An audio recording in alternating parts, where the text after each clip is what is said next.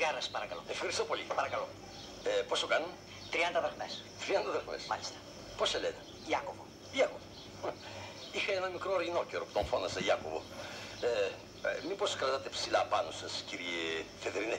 Πολύ ευχαρίστως. Δυστυχώς δεν έχω ψηλά. Χιλιάρικο. Έφαργες, ψηλά είναι και αυτά.